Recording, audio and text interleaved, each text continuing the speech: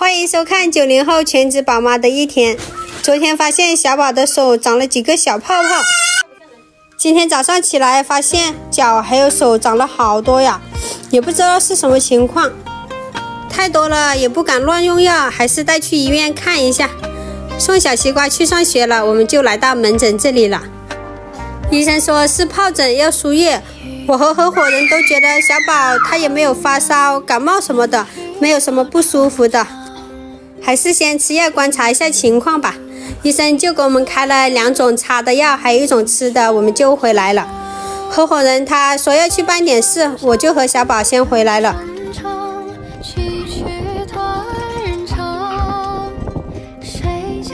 用洗手液把小宝的手脚需要擦药的地方都洗一遍，长痘痘的地方都还挺多的，除了手脚、嘴巴、小腿，还有其他的地方也被感染了。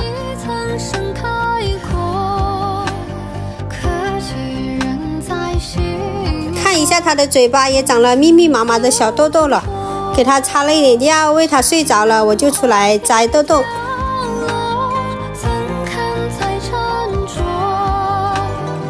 才几天没有摘，又长了那么多了，有一些都已经变老了，一天一个样啊！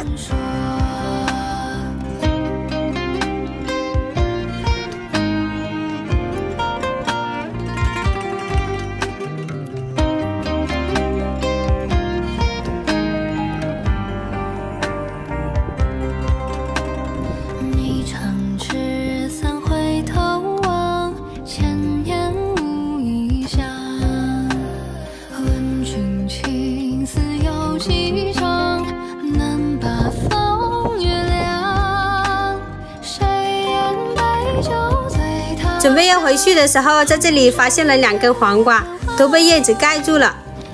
不细看还不知道这里有黄瓜呢。那个藤子小小的一根，看这些玉米高的高，矮的矮，大小都不一样。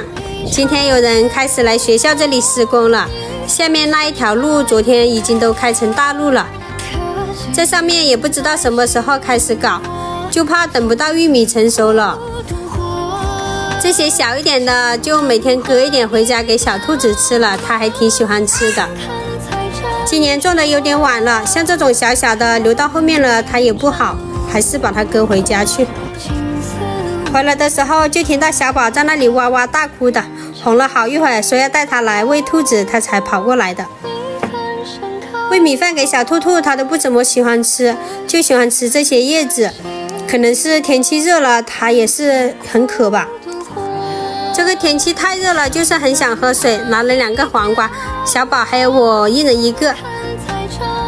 这些黄瓜都没有牵藤，长在地上，有一些石头磕到它的皮肤都不怎么好。把皮咬掉，里面还是可以吃的。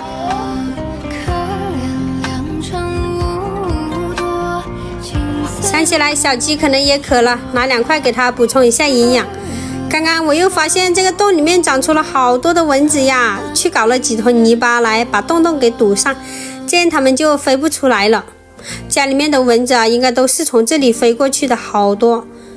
合伙人接小西瓜放学回来了，挑两坨软一点的给它当彩泥玩，剩下的我就扔了。合伙人他今天没有买菜来，去捡几根广菜来炒着吃，把它们都剥皮了，用盐腌一下。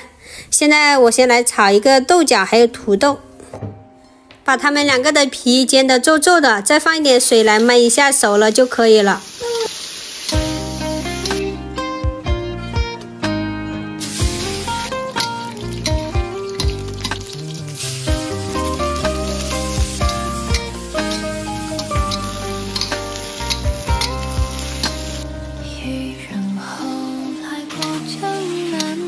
广菜刚刚用盐来腌了，洗了几遍再拿来炒，放西红柿进去就很好吃了。合伙人说他今天要去上班了，还是去跑车，接了一个单子是十点半的，也不知道他晚上什么时候回来。这个锅炒菜的时候摇摇晃晃的，有时候拍视频都顾不上。今天是个好日子，我想买一个过来庆祝一下。姐妹们，你们觉得我是换一个锅好呢，还是搞一个煤气罐呢？